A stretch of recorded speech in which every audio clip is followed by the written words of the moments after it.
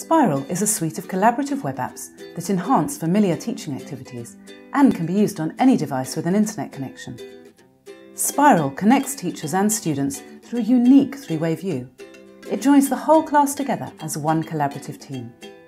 So how does it work? Meet Mark. Mark is a teacher and he's passionate about planning engaging lessons and helping all his students progress. But he often feels overwhelmed by his workload. He wants his students to be more active learners, but never seems to find the time to try out new ideas.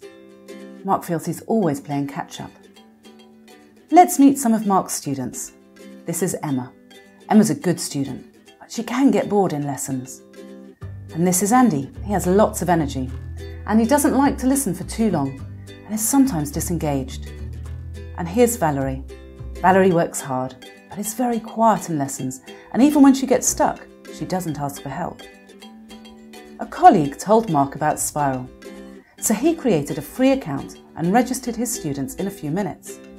In his next lesson, Mark asked his students to log into Spiral using their personal devices, and he launched a quickfire activity. Mark asked a question, and all of his students posted their answers. Everyone was engaged. Mark could see individual responses on his iPad. He could identify those excellent ideas and ask some students to improve their answers. When he was ready, he displayed everyone's ideas at the whiteboard, sharing the best work for the whole class to discuss and giving individual praise. Because everyone's responses were anonymous, the whole class were happy to participate, even Valerie.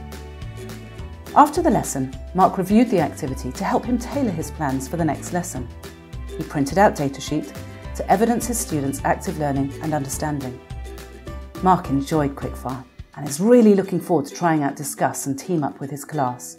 He can now actively engage all his students and personalise learning activities to help them all progress.